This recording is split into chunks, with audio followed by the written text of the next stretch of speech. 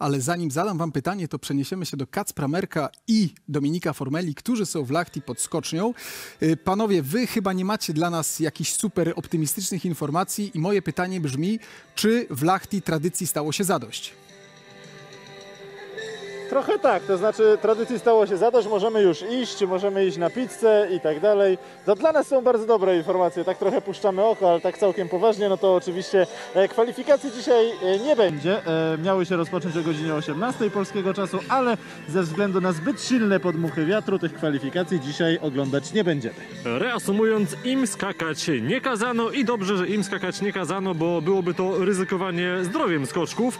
I tak po prawdzie spodziewaliśmy się tego od wtorku, środy, może czwartku, wczoraj na pewno. Te prognozy były bardzo złe na piątek. E, Liczyliśmy, że kierunek wiatru będzie tutaj zbawienny, no ale stało się inaczej. Kombinatorzy norwescy na początku dnia z problemami skoczkom już się nie udało. Tak, jeśli chodzi o ten kierunek wiatru, to kierunek południowo-zachodni dzisiaj ten wiatr przybierał i gdyby to był tylko kierunek zachodni, to organizatorzy nie mieliby z tym żadnego problemu, bo z kierunku zachodniego można tam u góry rozwinąć takie piękne siatki i te siatki pewnie trochę by podmuchy minimalizowały, ale to południe tutaj okazało się no, zabójcze, jeżeli tak to mogę określić. Stojąc tutaj na końcu wybiegu tego przeciwstoku, tutaj nie ma huraganu, tutaj nie ma wichury, natomiast kiedy podejdzie się odrobinę wyżej, a już zwłaszcza na wysokość buli, to tam po prostu buja człowiekiem, który sobie stoi, a co dopiero skoczkiem, który frunie szybuje na salpolselce. No właśnie, i mimo, że spowodowało to oczywiście smutek e, w szeregach biało-czerwonych, widziałem już Instastory Kamila Stocha z e, taką zapłakaną buźką, że dzisiaj dnia w pracy nie będzie, no to to jest decyzja jedyna, słuszna, zrozumiała, kwalifikacji dzisiaj nie ma,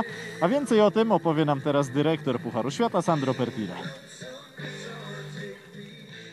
Po raz pierwszy w tym sezonie skoki e, narciarskie się nie odbędą zgodnie z planem. Rozmawiamy o tym z dyrektorem Pucharu Świata Sandro Pertile. E, Sandro, for the first time this season we can't jump. Why? What happened? Is it the wind conditions? Yeah, uh, we have a very strong wind at the takeoff. Uh, we had uh, an average in some moments uh, around 7.5 meters per second. Headwind, uh, we- we cannot protect this uh, direction. Uh, and then uh, we were waiting and trying to postpone the start of the official training, but uh, the the weather forecast is still for a worsening of the of the condition, so no chance for today.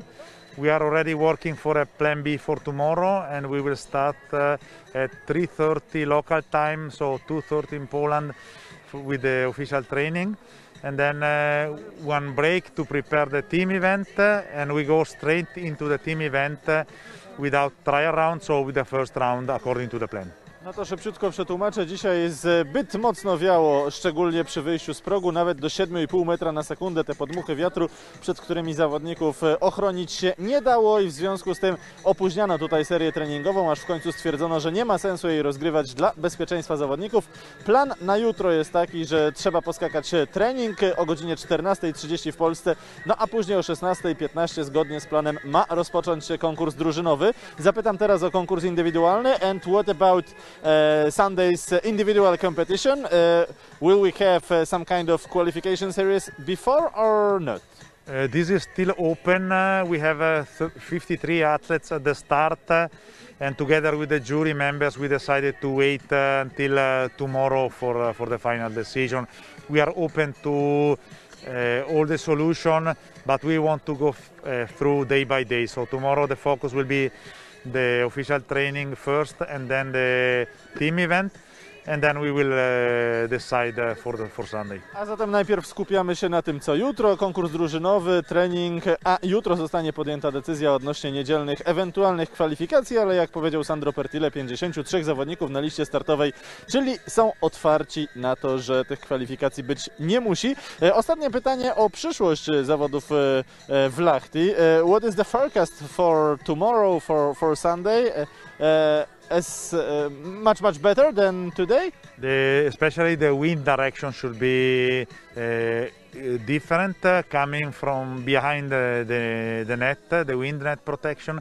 So we expect uh, to have uh, better conditions. We should have side wind and not uh, headwind like uh, now. A zatem lepsze warunki wieczne o tyle, że będzie wiało z lepszego kierunku, z tego kierunku, który można zabezpieczyć e, siatką, więc szansa, że jutro i w niedzielę te skoki tutaj w Lachti się odbędą jest jak najbardziej. Ostatnie pytanie o przyszłość, już nie o Lachti, ale także o kolejne zawody, bo dzisiaj e, udało nam się ustalić, że zawody w Rasznowie e, być może dojdą do skutku. So last question about Rashnov, because I heard today that there is a big chance to organize that weekend in Romania. Can you confirm that? Yes, uh, we are uh, more closer than last week to, to confirm the competition. We have still uh, to get uh, a green line from the main health authorities, but the meeting is scheduled for next Tuesday, and we expect on Tuesday evening to be able to confirm the event. This is uh, our goal and our wish. Of course, we need to wait the support from the Romanian health authorities, but we hope, hope to, to get it uh, on Tuesday. A zatem czekamy do wtorku 26 stycznia na oficjalną, ostateczną decyzję odnośnie zawodów w Rasznowie, ale jak powiedział dyrektor Pucharu Świata Sandro Pertile, na dzisiaj one są dużo bardziej prawdopodobne niż było to jeszcze tydzień temu. Tyle od nas, dziękujemy, thank you so much and see you tomorrow. Thank you very much and see you tomorrow for sure.